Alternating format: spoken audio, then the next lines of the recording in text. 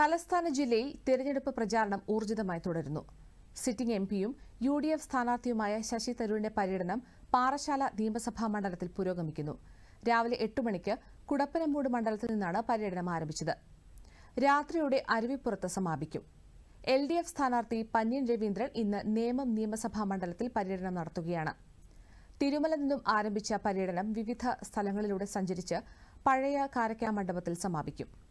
അൻപതോളം സ്ഥലങ്ങളിലാണ് പന്ന്യൻ രവീന്ദ്രന്റെ ഇന്നത്തെ പര്യടനം.